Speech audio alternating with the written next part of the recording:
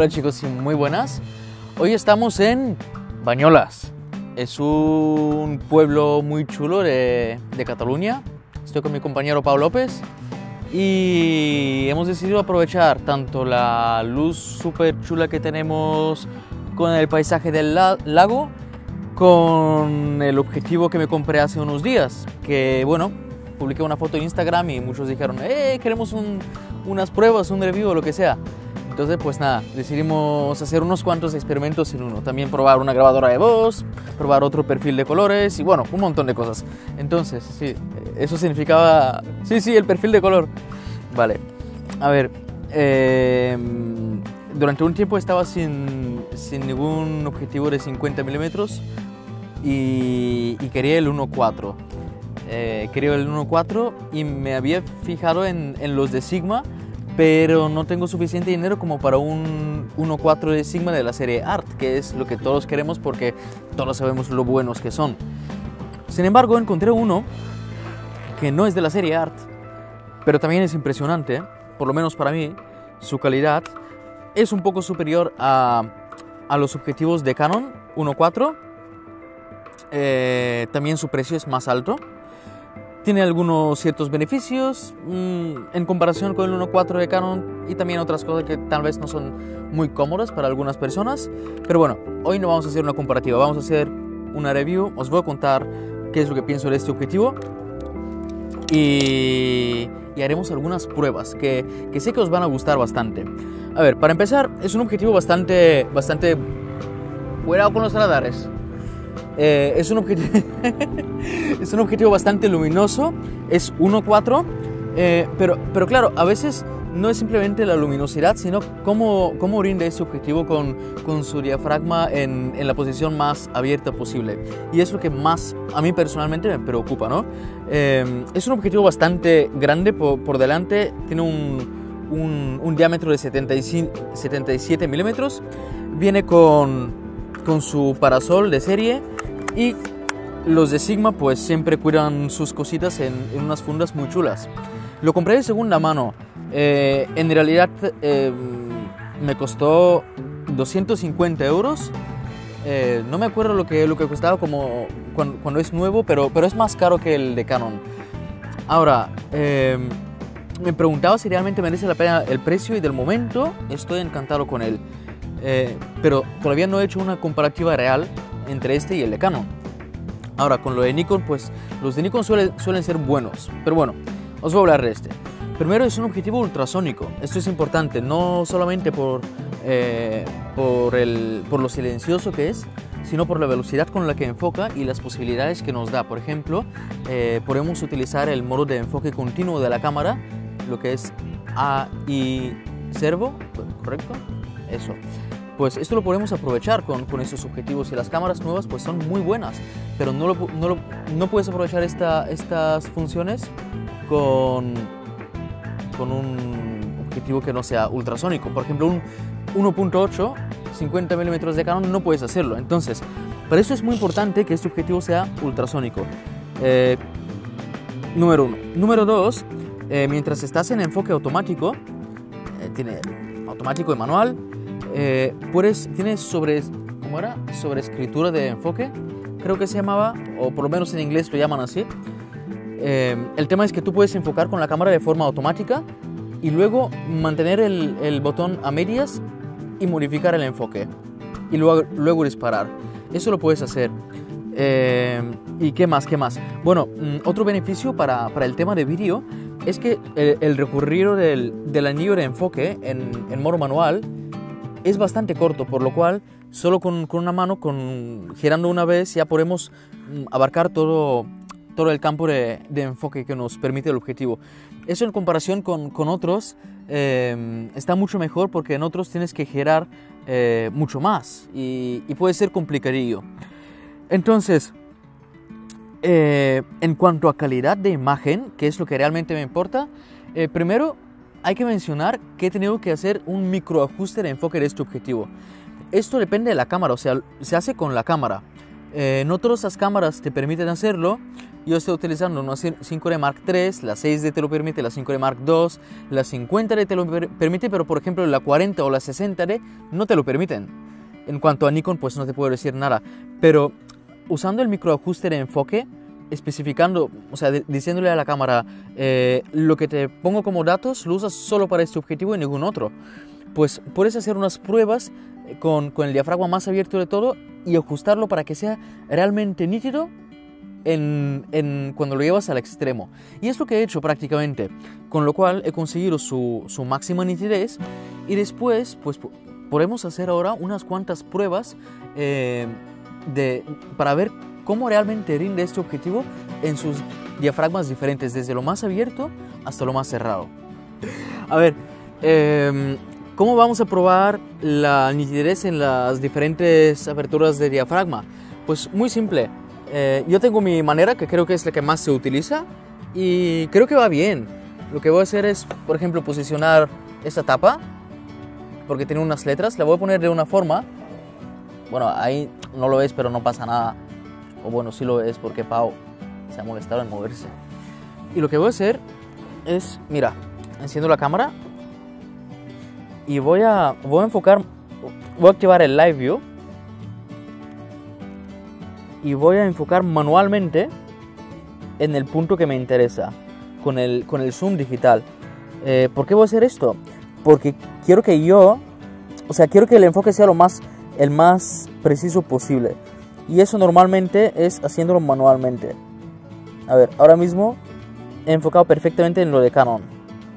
Entonces, ahora estoy en 1.4. Con ISO voy a poner 320 y velocidad hola diafragma de 1.4 velocidad de, o sea ISO 320 y exponiendo a cero o sea velocidad 2500 me da ahora mismo. Lo que voy a ir haciendo es diferentes fotos y cerrar un paso de diafragma. Un paso no es un clic sino tres clics en este caso. Pues estoy disparando en 1.4 hago una foto. Por cierto, disparo directamente en JPG, así te pongo en la pantalla lo, lo, lo que realmente tienes que ver. Eh, luego hago tres clics para cerrar el diafragma, 1, 2, 3 y estoy en F2. Eh, hago exactamente lo mismo con la velocidad, 1, 2, 3 para tener exactamente la misma exposición y disparo otra vez. Y sigo haciendo lo mismo, 1, 2, 3, estoy en 2.8, 1, 2, 3, velocidad 640, 2, 8 y otra foto. De esta, de esta forma pues podemos mm, realmente ver en qué momento empieza a, rendir bien, bien, bien. 5,6 8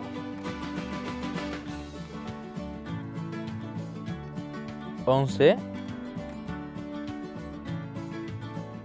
y 16 que es su su apertura más cerrada de, diafragma. Ahora, en estas fotos podemos apreciar fácilmente que en, por muy ajustado que sea el, el, enfoque, en, en 1.4, a ver, está bien, pero vemos, vemos un poquito de, de aberración cromática. Eh, vemos que no es nítido realmente. Te estoy poniendo, por cierto, eh, la, la, foto ampliada al 100% en tu pantalla, por, por, lo cual te recomiendo ver este vídeo en ordenador en pantalla completa a, a 1080, porque es cuando vas a ver cada píxel, tal cual.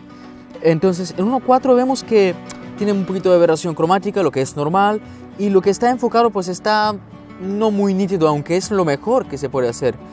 Ahora, cuando vamos a, a 2.0, vemos un, un cambio considerable de, de, nitidez. No simplemente, y fíjate, no estoy hablando de, de la profundidad de campo, o sea que más, más eh, espacio está, está enfocado. No, estoy hablando de nitidez. En el mismo punto está más definido. Luego en 2.8 pues aún más y ya en 2.8 la aberración cromática pues prácticamente desaparece. En 4 pues muy nítido, lógicamente, 5.6, 8 ya el, el, F8 suele ser el punto dulce de la mayoría de los objetivos entre 5,6 y F8. Por lo cual, eh, aquí no podemos esperarnos otra cosa que, que la máxima definición y, y, nitidez que nos permite.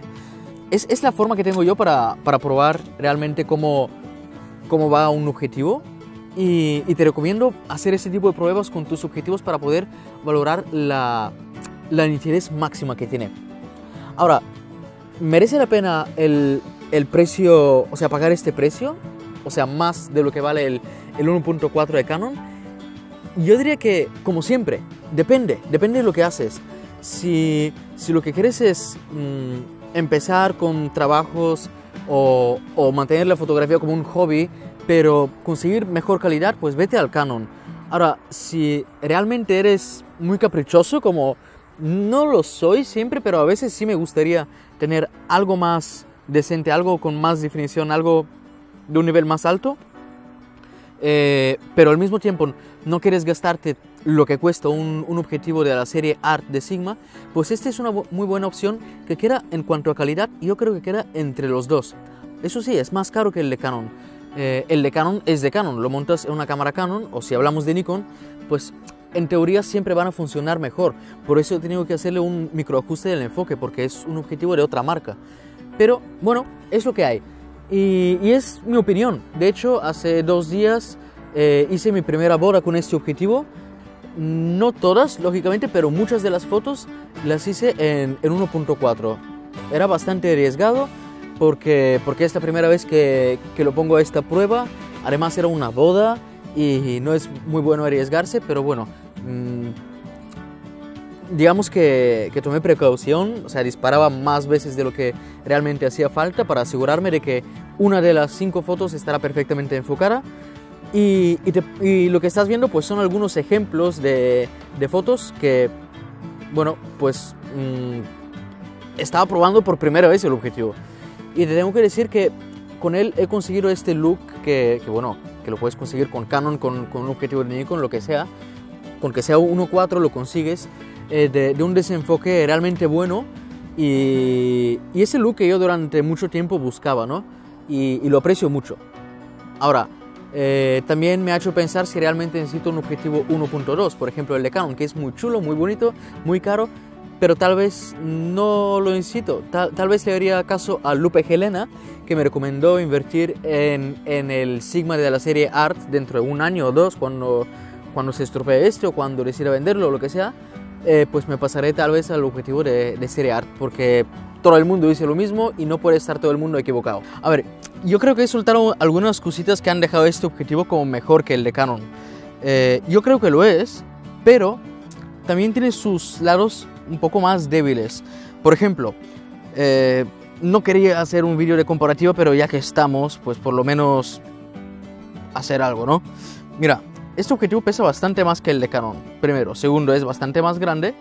Y tercero, algo, que Pau me, me, hizo pensar es que eh, el, el de Canon, cuando quieres cerrar el diafragma, llegas a F22 mientras que en este llegas a F16.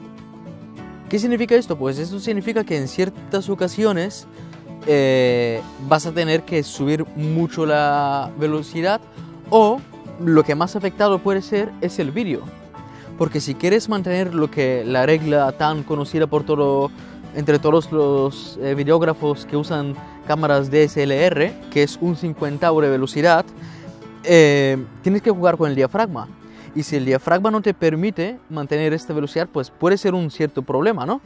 Entonces es más probable que, que tengas este problema con, con, un objetivo que te deja cerrar hasta f16 que con uno que te deja cerrar hasta f22, ¿vale? Mucho más compacto, mucho más voluminoso. Ahora, eh, ¿había algo más? Vale, el anillo de enfoque. A ver, según mi opinión, esto para vídeo va mejor porque con un giro ya pasas de, del punto de enfoque más cercano al más lejano. Y dice Pau, bueno, en este no consigues lo mismo porque tienes que girar dos veces.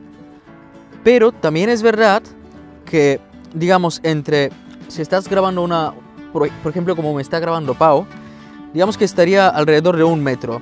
Y entre un metro y tres metros el movimiento es solo este. y es prácticamente igual en los dos. Por lo cual, lo que es la, la, zona del enfoque efectiva que realmente utilizamos, eh, nos daría más o menos lo mismo.